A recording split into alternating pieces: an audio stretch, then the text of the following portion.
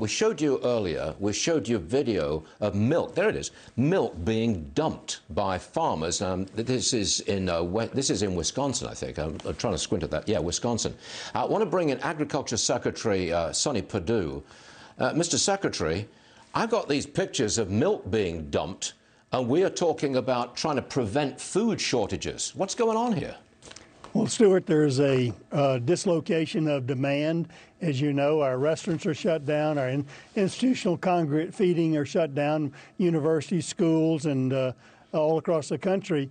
And many of these producers have, have uh, delivered to processors who serve that community. When there's re a relocation and a misalignment of uh, this demand, we've worked as expeditiously as we could to get the milk where it's needed, obviously in our retail stores. So that's what's happening. When you see this milk being dumped, it's the processors that are not able to convert their lines into uh, consumer type packaging. Okay, there is, I believe, a 15 $15 billion uh, effort uh, that's going to the farmers. I guess that's to support the farmers and help them out in times like this. $15 billion? Yes, Stuart, it'll be best. Not only with the dairyman that has to dump milk, it's not only financially hurting, it's also emotionally hurting. This is their life, but this is their this is their living as well, and that's what they like to do. But we want to have direct payments to farmers, but more importantly, as your initial story said, we want to purchase as much of this milk or other protein products, hams and pork products as other, and move them into where they can be utilized into our food banks and possibly even to international humanitarian aid.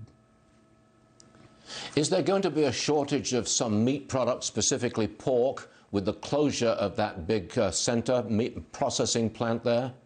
Well, we hope not. Obviously, the United States has a very uh, synchronized, sophisticated uh, uh, supply chain, and for pork particularly, these are just-in-demand type of, uh, just-in-time type of systems where the uh, the pigs are birthed, they're weaned, they go to feed, then they go to slaughter.